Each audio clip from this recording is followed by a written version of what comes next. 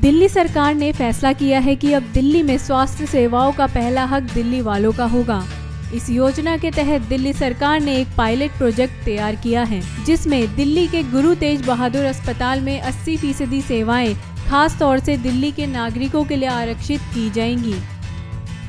अस्पताल में कुल 17 रजिस्ट्रेशन काउंटर हैं, जिसमें से 13 दिल्ली के नागरिकों के लिए आरक्षित किए जाएँगे और चार दिल्ली के बाहर के नागरिकों के लिए होंगे। मुफ़्त दवाएँ केवल दिल्ली के नागरिकों को दी जाएँगी। साथ ही बड़े टेस्ट भी मुफ़्त केवल दिल्ली वालों के लिए ही होंगे।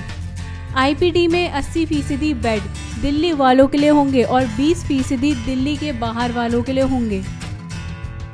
हालाँकि छोटे और साधारण टेस्ट और आपातकालीन सेवाएँ सभी नागरिकों के लिए सामान और मुफ़्त रहेंगी।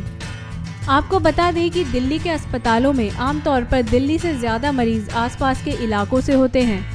इसी वजह से अस्पतालों में भी इसका बोझ ज़्यादा रहता है। हिमानियो प्रेती, नवोदय टाइम्स।